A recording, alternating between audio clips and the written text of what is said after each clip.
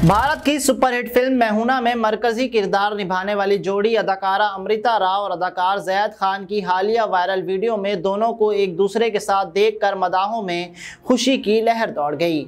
2004 की blockbuster film मैहूना में नज़र आने वाले जैद और अमृता की 20 साल बाद एक साथ काम करने की एक वीडियो वायरल हुई है। मदाहों ने वीडियो पर तबसरे करना शुरू कर दिए हैं और पूछ बैठे कि क्या मैहूना टू बनने जा रही है?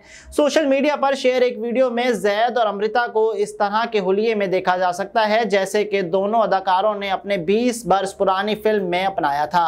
एक पापाराजी फोटोग्राफर अकाउंट से शेयर इस वीडियो में दोनों अदाकारों को एक साथ सेट पर देखा गया, जबकि वो किसी प्रोजेक्ट की शूटिंग में मसरूफ हैं। भारतीय मीडिया रिपोर्ट्स के मुताबिक दोनों किस प्रोजेक्ट की शूटिंग कर रहे हैं, इस हवाले से कोई तफसीलात सामने नहीं आई।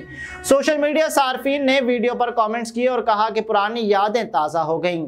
बताया जा रहा रहा है कि मुमकिन है किसी इश्तिहार का शूट हो जिसमें दोनों फनकार जल्द नज़र आएँगे। याद रहे कि फ़िल्म मेहुना में शाहरुख खान ने मरकजी किरदार निभाया था, जबकि दीगर फनकारों में सुष्मिता सेन, किरण खेर, नसीरुद्दीन शाह बुमन ईरानी और सुनील शेट्टी शामिल थे।